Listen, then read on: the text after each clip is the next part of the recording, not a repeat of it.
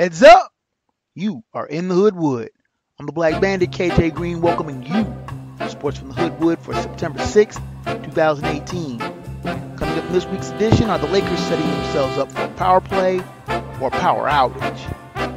Picks and predictions for the opening week in the NFL, as well as more sizzling takes from the Hoodwoods College Hot Five. All that, Phat Dap head slap, as well as a multitude of opinions and info straight ahead on this edition of Sports from the Hood Hoodwood. Are you ready? Then let's go. You're tuned in to Sports from the Hoodwood, the internet's foremost location for the most honest, unfiltered commentary and insight on the world of sports. Now, once again, here's Hoodwood's hometown hero, KJ Green. Greetings from the Hoodwood, where despite the hot weather, the natives are restless and ready for the upcoming pro football season. I'm your man KJ Green, welcoming you once again in the Hoodwood. But instead of football leading off, we're going to sidestep for a bit and talk about hoops, pro basketball namely, and the Los Angeles Lakers, who are planning for the future. Never mind that LeBron James is fast approaching 34. He's getting up there in age. But Magic Johnson and General Manager Rob Pelinka are making moves. They're shifting players around like chess pieces, trying to set themselves up, shuffling players in and out, and hoping that they can free up cap space and build an LA super team, or so it seems. Now, netting LeBron, I guess, was the first piece, but now, who will the next piece be? It obviously won't be Paul George, who signed a max deal to stay in OKC. It's not going to be someone like James Harden or Chris Paul. They're firmly entrenched in Houston. I seriously doubt that Kevin Durant will come to LA. He wants to beat LeBron. He doesn't want to help him win more titles. He wants to surpass him as the top dog, alpha male in the NBA. And for some reason, I just don't see Kyrie Irving wanting to come cross country from Boston to LA to restart, if you will, the very successful duo that they had in Cleveland. He left Boston, argued for a trade because he didn't want to be Robin to LeBron James's Batman. So I don't think he's going to want to come to LA to reprise that role. So who would come to LA then? Would it be Klay Thompson, Boogie Cousins, Kawhi Leonard, Jimmy Butler?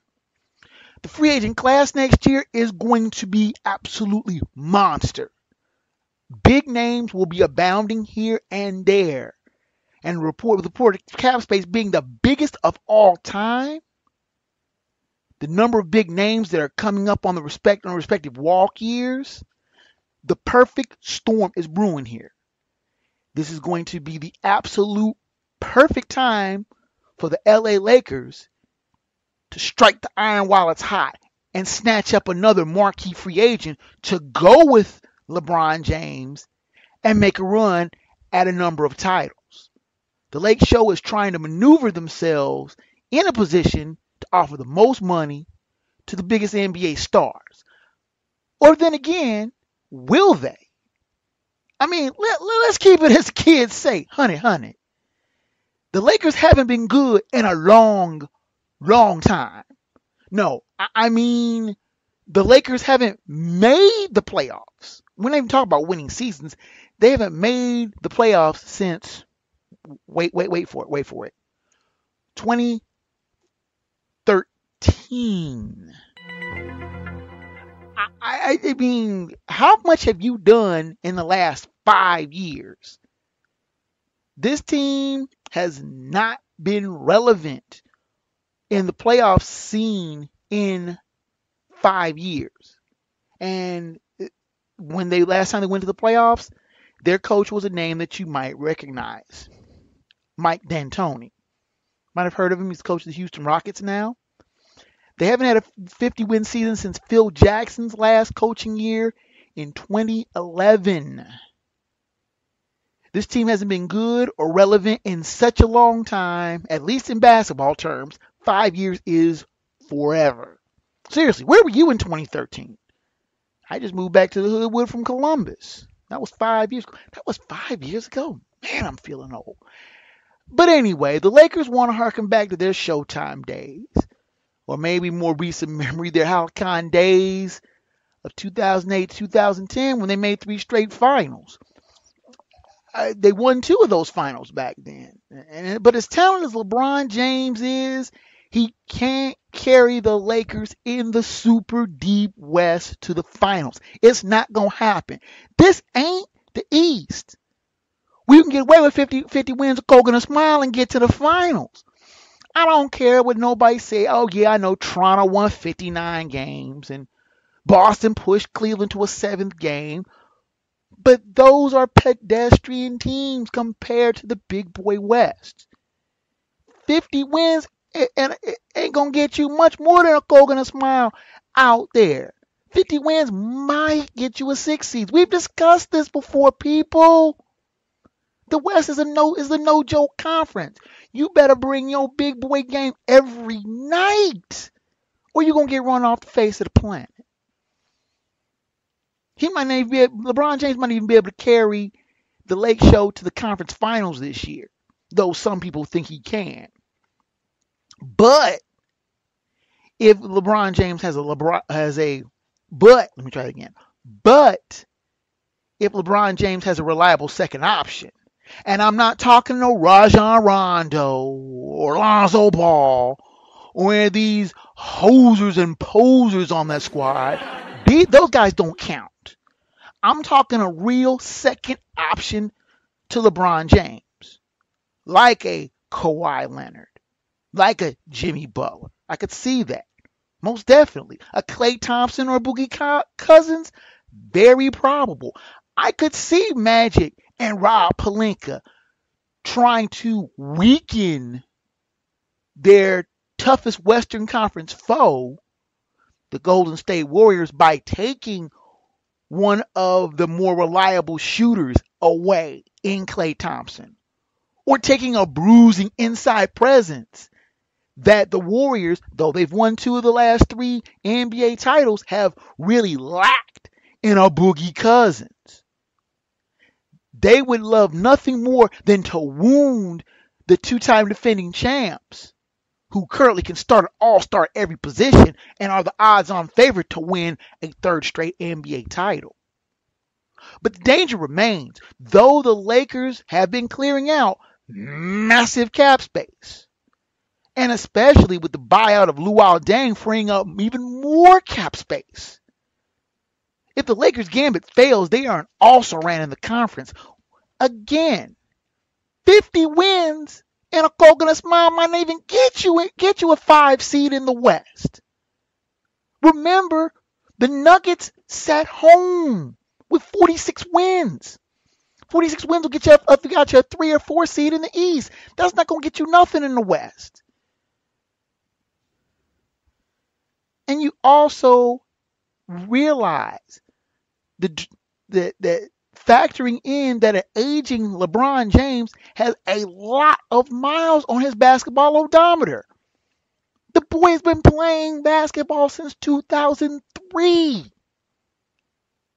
I don't care what shape you're in. James will be 35 at the start of the, uh, let's say, relatively beginning of the 1920 season. And I've said repeatedly, five times unbeaten. And in reality, the Lakers window might be closing before it even really gets ever gets open. I have no doubt that LeBron James sees this as his last best shot to win a title before heading back to the land, possibly playing a season with his son and retire. Don't laugh. It could happen. The Lakers are gambling big time that they can cash it in and get back to winning titles. Can they? It's anybody's guess.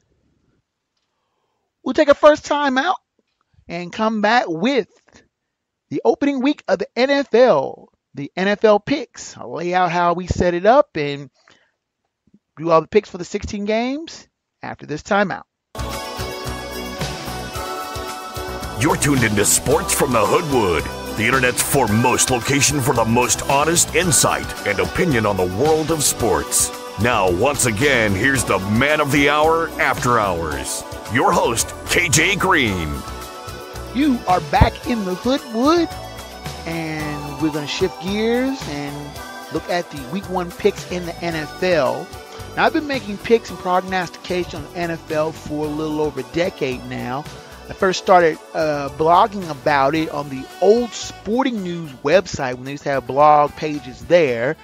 And I've been sending out emails on that for just as long. And of course, if you do want to get on the mailing list, I do have a printed version of these picks that I can send to you that you have send me an email at kjgreen at blackbanditproductions.com and I will put you on the email list. And the way I set my picks up every week is that I have I give you the snippet of the game, who's playing, where, and where the uh, what network you can see it on. You can check your local listings for all the times, uh, local times in your area, because all the local times I put on here are Eastern. Also provide odds, which are provided by ESPN, um, and those are for comparison and entertainment purposes only. And I only say that because inevitably I have somebody complain that they took the lines I provided for them and lost. So if you do that and get took, it's on you because I don't pay bookies. anyway, last year I was 170 and 86 in the regular season. One of my picks I will designate as a lock of the week, the one I am very, very sure that will come down a certain way. And I also have an upset of the week. A game I will usually pick will be against the grain of what some people think, or a lot of people think. Maybe it's the odds, maybe it's just a feeling, but I I'll designate it as the upset of the week. Last year I was 15 and 2 in my locks, and I was 7 and 10 in my upsets. I want to have a goal of getting at least 14 of the 17 weeks of locks correct and break even about seven or eight wins in the upset column. And I, I, fulfilled that last year, and I'm hoping to do just as well, if not better, in 2018.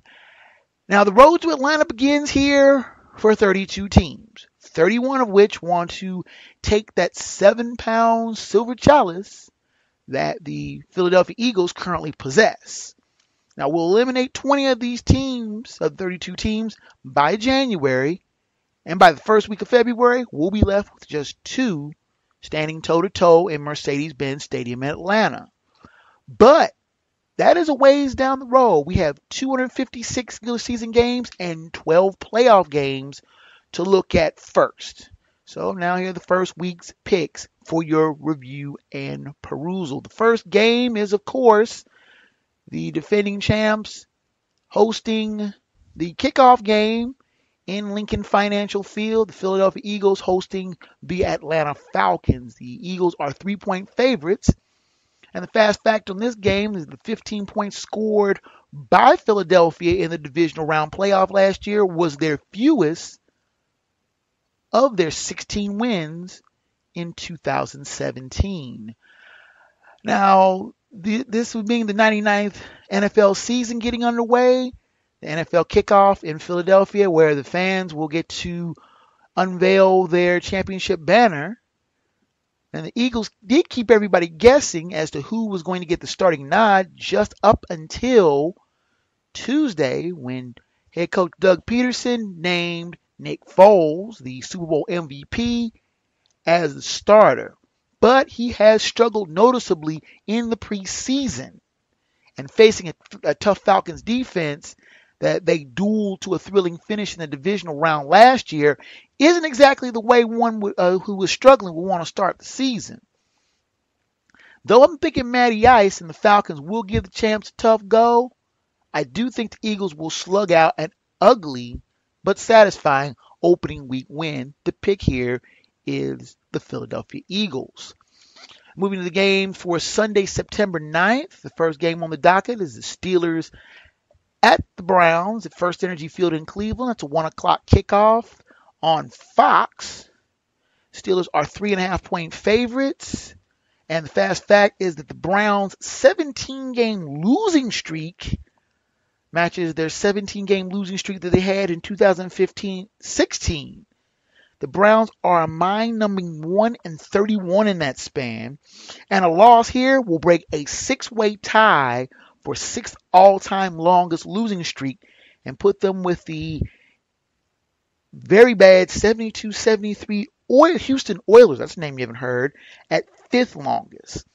Now, the Steelers always seem to get the lollipop Browns to start and end their season. Now, while the Steelers are still waiting to see if Le- Le'Veon Bell will be ready to go, and word is that he might not be, they're still exponentially better than the rapidly improving Browns. Now, I'm thinking while this might be a bit of a shootout because the Steelers' defense is fairly weak, the Browns still aren't ready for wins. Not just yet. The pick here is Pittsburgh. Next game here on the docket is the Bengals at the Colts. That game is going to be at Lucas Oil Stadium, 1 o'clock in Indianapolis on CBS. Colts are three point favorites.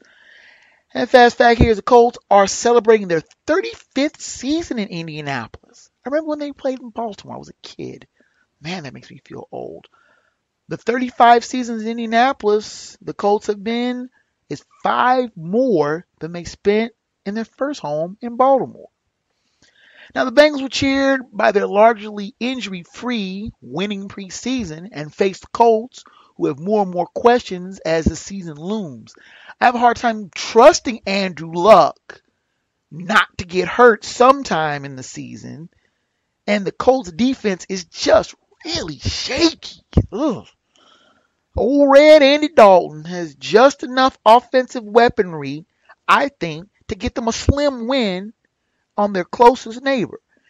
The pick here, and I'm probably going to be kicking myself on this come Sunday about 4:30, is Cincinnati. Next on the docket, we have the 49ers at the Vikings. Games at US Bank Stadium in Minneapolis. That's 1 o'clock kickoff on Fox. The Vikings are six point favorites. And 49ers quarterback Jimmy Garoppolo is unbeaten 7 0 as an NFL starter, but this will be the first time he has been the opening day starter for any team. Now, of course, the Niners, happily with Jimmy Garoppolo as their starter, are missing a key component. Former Vikings running back and big free agent signing Jerick McKinnon blew out his ACL in a non contract drill and is lost for the season the man he filled in for, or the man he filled in for, Dalvin Cook, seeks to come back from an injury, a similar injury of his own that ended his promising rookie campaign last year. The Vikings are just tough, tough, tough at home. And I have a long standing policy against teams that come east, West Coast teams that come east for early games. West Coast teams that play early games on the eastern seaboard or, or having a one o'clock start, which would be 10 o'clock their time, are usually sleepwalking. And in my opinion, dead meat. The pick here is, are the Minnesota Vikings. Next up, we have the Titans and the Dolphins at Hard Rock Stadium in Miami. It's one o'clock kickoff on Fox. The Titans are one and a half point favorites on the road. The Titans made play, playoff make last year, broke an eight year drought, but their coach, Mike Mularkey, was still fired. I think this is a nondescript game here on South Beach. Two uh, middling teams facing off. Though the Titans were a playoff team and got a playoff win, they did get rid of Mularkey, and the respect is just not forthcoming from most outlets. Respect is not something I have for the Dolphins. I've never been enamored with the perpetually fragile Ryan Tannehill.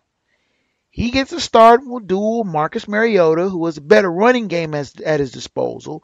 This actually, to be honest, this game is a toss-up. But I guess my general dislike for the Finns will color my thinking here. I think that rookie coach Mike Vrabel will get his first win here. The pick are the Tennessee Titans. Moving on up to New England, where the Texans will be headed will be heading into Foxborough to face the Patriots at Gillette Stadium in Foxborough, Mass. One o'clock kickoff on CBS. The Patriots are six and a half point favorites. The Texans have never won in Foxborough, losing all six visits. Now the Texans are looking to rebound from a nightmare 4 and 12 season, and opening in a place that they have yet to win isn't the most favorable way you want to start a season. Even though a healthy Deshaun Watson is going to return to pilot the Texans, and he does bring an exciting mobile dimension to the Texans' offensive attack, we're still talking about the Patriots, people. Come on. The Patriots seem to prepare better than a majority of the teams NFL for all scenarios and all situations, and it's just just too damn hard to see the revamped Texans going into Foxborough and getting the win. The pick here is New England. We'll turn down south and look at Buccaneers and the Saints.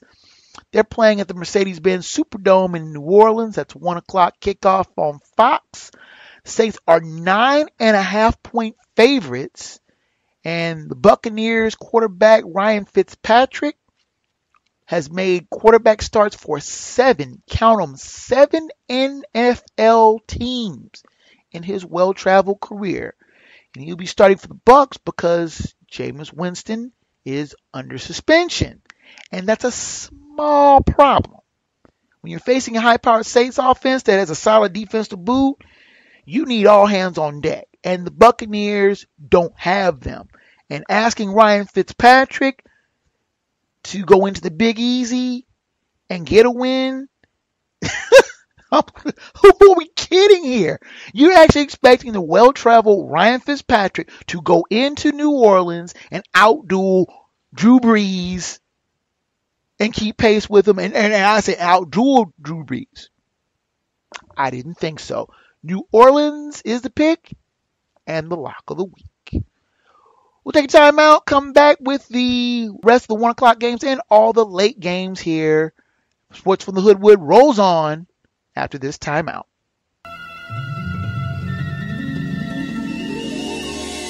You're tuned in to Sports from the Hoodwood, the internet's premier location for no-nonsense commentary, insight, and opinion on the world of sports.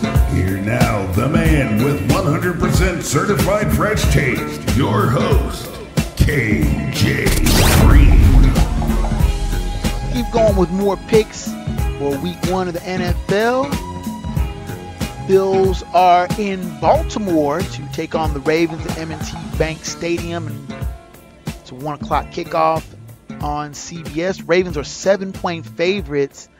Now, the fast fact is that the last year the Bills became not only the last NFL team to make the playoffs this century, but the last of any team in the four major North American sports leagues to make the playoffs. Now, they passed NFL playoff utility mark to the Cleveland Browns and the longest playoff drought to MLB's Seattle Mariners, who they last respectively made the playoffs in 2002 and 2001. And I saw the odds for this Bills Ravens game at 7, and to me, it just seems all wrong. I don't know why the Ravens are getting a full touchdown at home. It just seems wrong. It just feels wrong. The Ravens are skittish at best. Now remember, the Bills, not the Ravens, were the playoff team last year. And yeah, I know the untrustable Nate Peterman is the quarterback for the Bills. I can't trust Nate Peterman, but the Bills still have a solid running game. I still think the Ravens are just way, way overrated. I don't know why there's such this big love affair with the Baltimore Ravens. They did make the playoffs last year.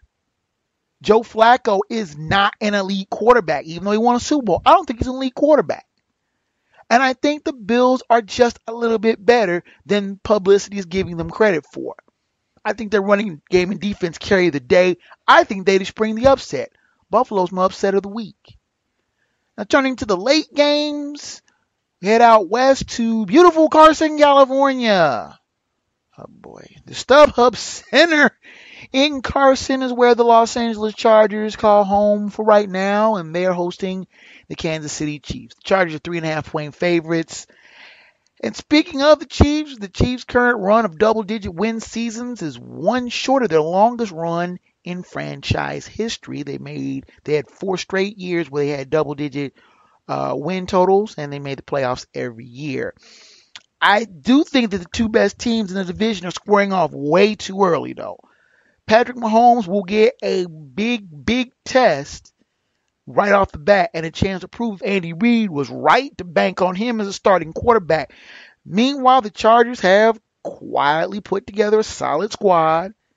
And the return of Antonio Gates. Is he still in this league? No, seriously. Antonio Gates, yes, he resigned with the Chargers coming out of retirement.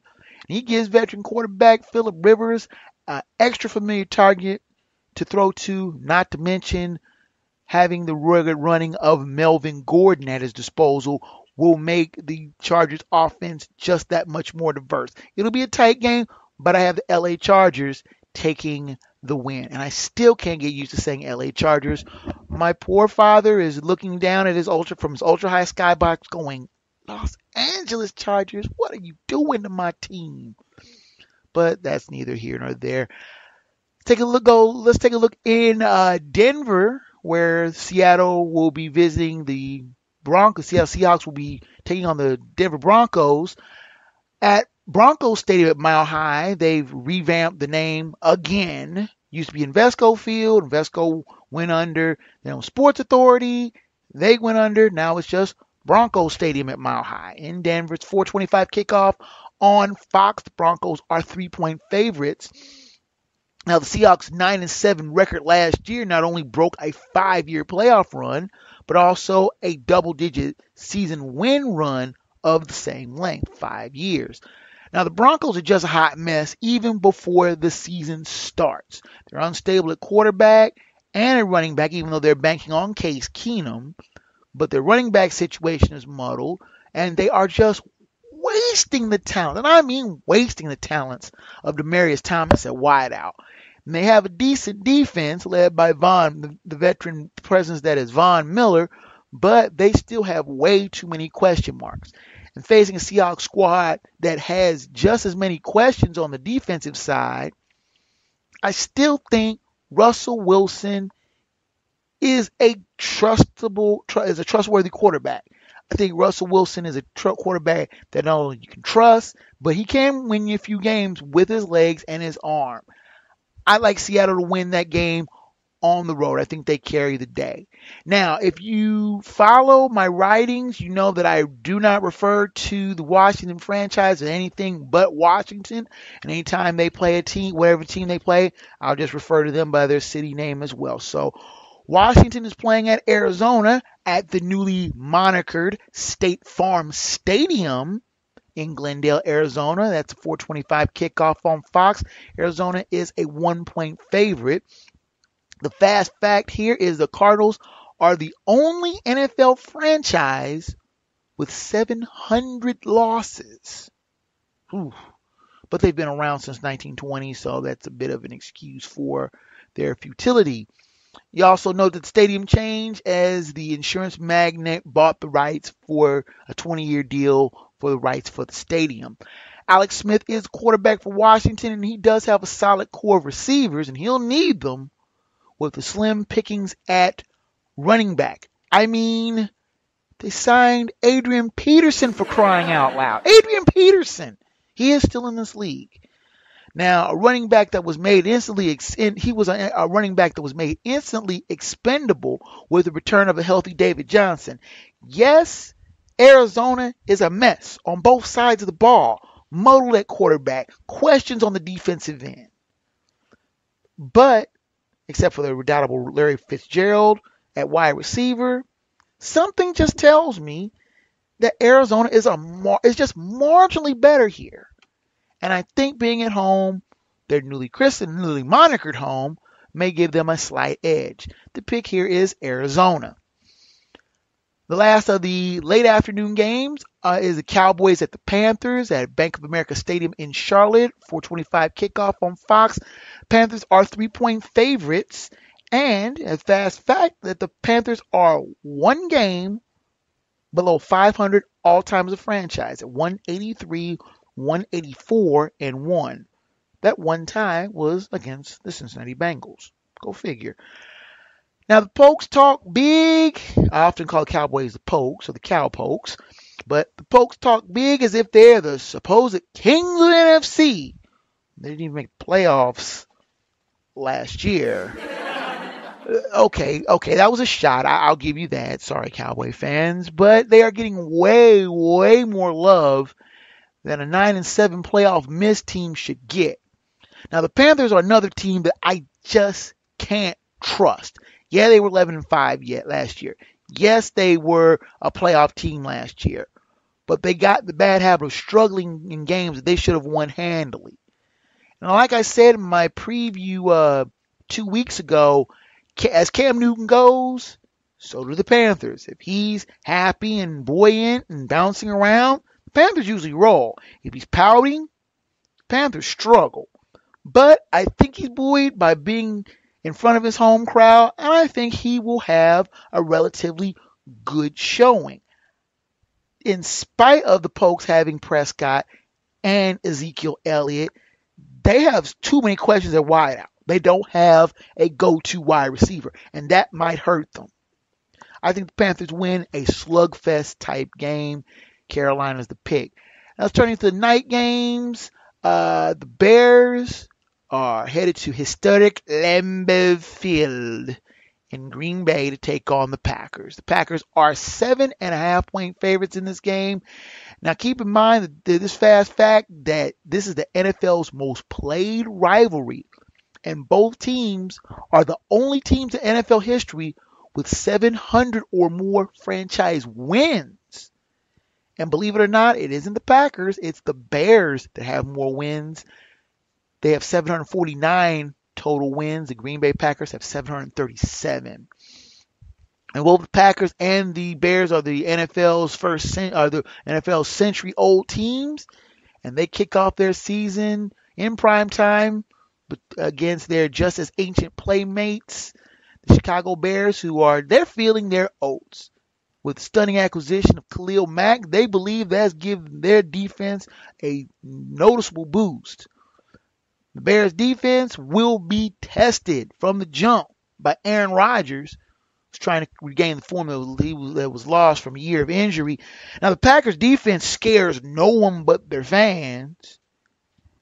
And but the pedestrian Bears defense offense scare fewer. It may be a war of attrition actually in Green Bay, but it's hard to go against the Packers at home.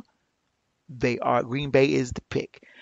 During the page two, September 10th, the two Monday games, there are a doubleheader on Monday. They have been doing this for the last uh, about decade, and I like it, and I wish they would continue Monday night doubleheaders throughout the season and get rid of these stupid Thursday games, but that's something that I brought up last week. The open, the uh, first game of the doubleheader on Monday night is the Jets and the Lions at Ford Field in Detroit. 7:10 kickoff on ESPN. The Lions are six and a half point favorites. And the fast fact is, after a 10 win campaign in his rookie coaching uh, season in 2015, Jets coach Todd Bowles has only 10 wins total in his last two coaching seasons. Now, the Jets and the Lions are two teams that very rarely get on primetime uh, uh, TV. Let's let's just keep it real.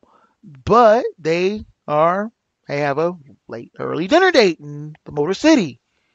Now the Jets are banking on, on rookie Sam Darnold to be the franchise quarterback, but he will take lessons from grizzled vet Matt Stafford, who I think is just about the definition of wily vet as you can get. The Jets defense, while improved, will have trouble containing Stafford, and the growing pains for Darnold will be obvious. And and the Lions have been have proven to be a fairly tough opponent at home. The pick here is the Detroit Lions. And finally, wrapping up week one, the Los Angeles Rams faced Oakland Raiders in Alameda County Coliseum in Oakland. 10:20 kickoff on ESPN. The Rams are four-point favorites on the road, and this is, believe it or not, only the second time that the LA-based Rams have visited Oakland. And their only previous visit was their first ever visit, first ever meeting in 1972. Things you, things you find when you're digging around for information. And like I said, the week wraps up with the late night game. The Rams are thinking bigger things, and the Rams are just trying to start over in the Gruden era. Now, while the Rams, uh, I mean, I beg your pardon, while the Raiders are intimidating her at, at home, or maybe it's just their fans are just scary. I don't know. The Rams just have too many weapons on either side of the ball, and you you really got to be something to be a road favorite in this day and age in the NFL. There, the Rams are a outright road favorite, even taking away the three point you give a home team for being the home team. Being a four point favorite does say something. I think the Rams are a better team offensively. Jared Goff, Todd Gurley, and a plethora of good wide receivers and a defense that is stacked, and they will make Derek Carr run for his life. And we don't even know if Marshawn Lynch is going to be even halfway ready to play. I think the Rams. I almost I almost called them the lock of the week, but I do think the Rams will win in week one to wrap up the week. That is NFL week one picks. We'll come back with the Hoodwood top five, Phat Dap and Head Slap, and the final word in just a moment.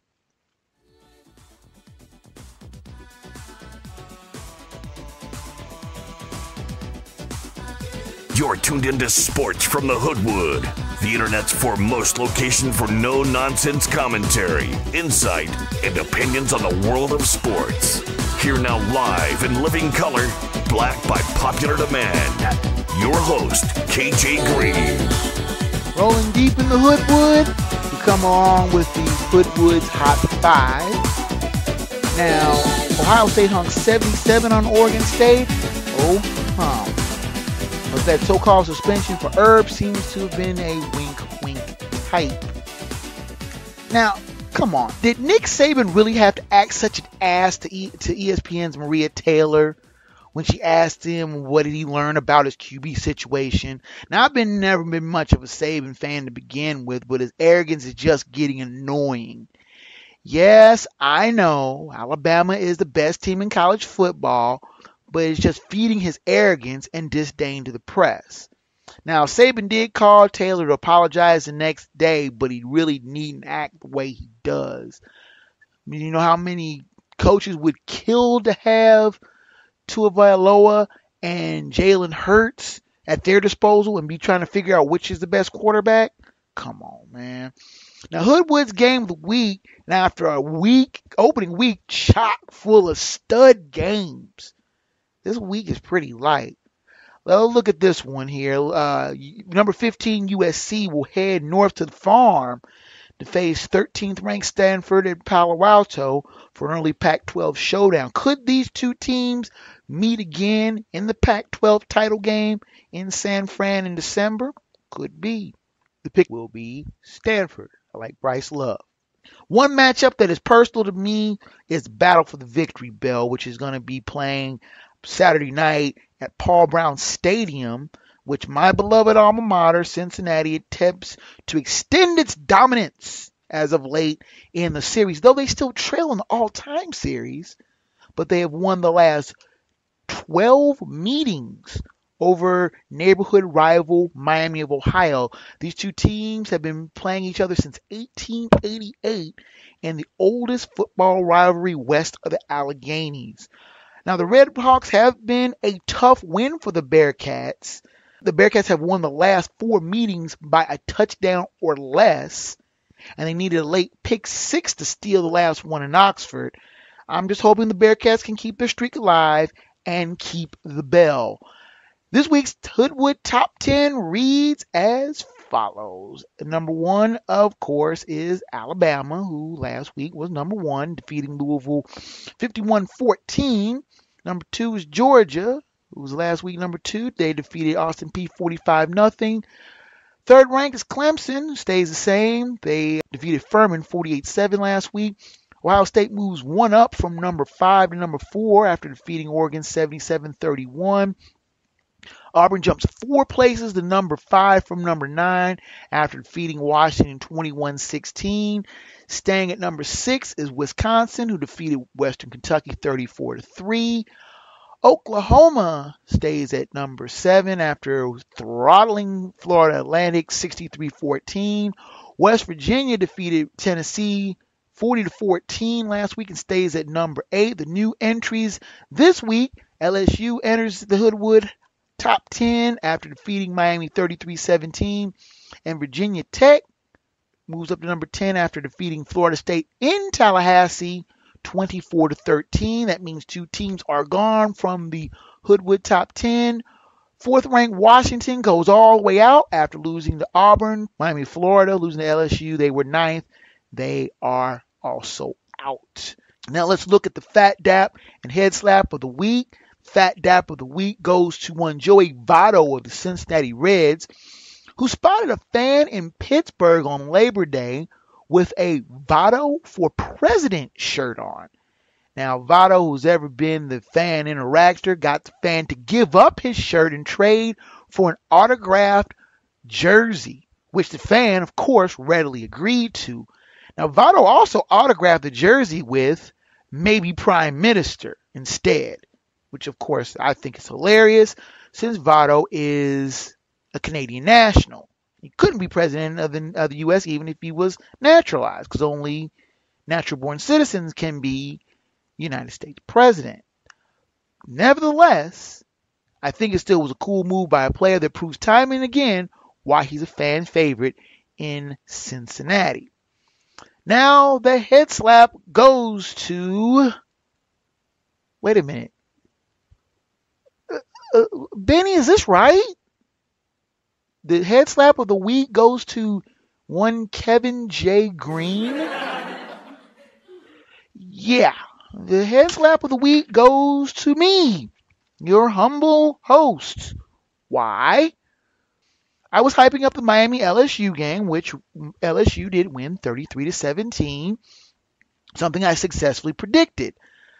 But I said the Bayou Bengals at home at night is about as sure thing as you can define. There's one teensy tiny problem with that pick. The game was in Arlington, Texas. That's 445 miles northwest of Baton Rouge. The error was all on me for making an assumption of where the game was, and I take that on the chin. The head slap is to me. Thanks for writing out my full name there, Benjamin. Benny's my producer, but never mind. Now let's shift gears one more time for the final word from the wood.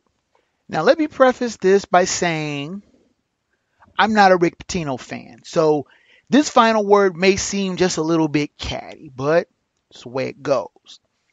Now Pitino has been Rick Pitino has been on the basketball scene for over 35 years, starting as a hot young hoops savant that took a scrappy Providence team to the Final Four in 1987, then jumped to the NBA and made a young Knicks team viable again, taking them to the playoffs in both of his seasons in Gotham.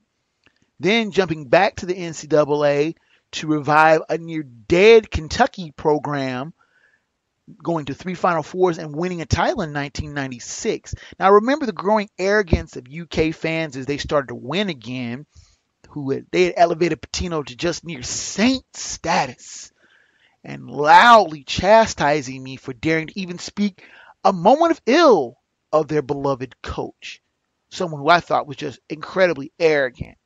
I remember hearing when he was going to, he was considering jumping to the Boston Celtics and speaking about it, and I'm being rebuked by Pitino loves Kentucky. He's, he's king in Lexington. He would never leave. I then watch with amusement when these same crestfallen fans called Pitino a traitor when he did indeed leave Kentucky to head to Boston.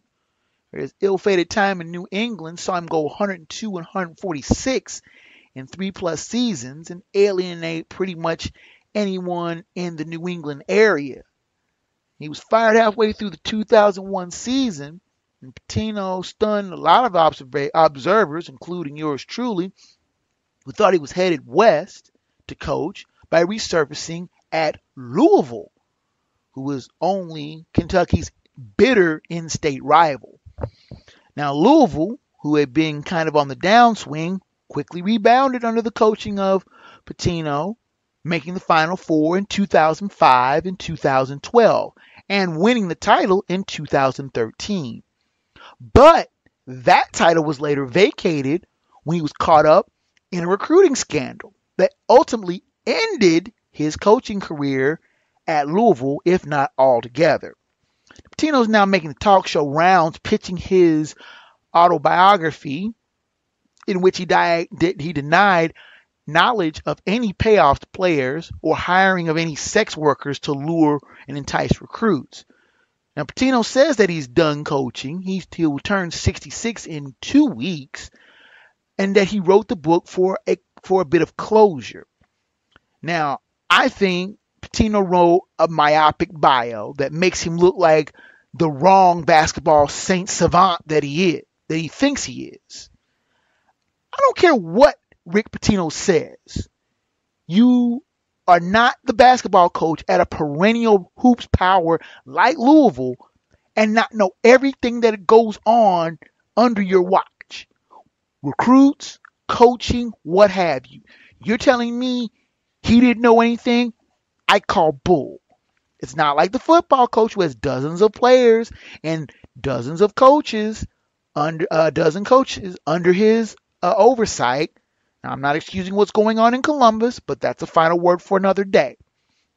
But in a place like Louisville, where basketball is king, there have only been, before Pitino was fired, him and Denny Crum were the only two coaches of Louisville for the past 45 years. The basketball coach in Louisville is pretty much the mafioso Don. And I have a hard time believing that Pitino knew nothing. Hoop coaches know everything when it comes to their players, good, bad, and ugly. When it came to recruiting, Pitino knew what was going on with every recruit. Don't tell me he didn't know what was going on with Brian Bloom, because I don't believe it. This fallout not only cost Pitino, but longtime athletic director Tom Jurich's job as well. Pitino took pot shots at everybody in this book. FBI, the Louisville Board of Trustees, which also includes disgraced pizza magnate John Schnatter, and current Kentucky Governor Matt Bevin.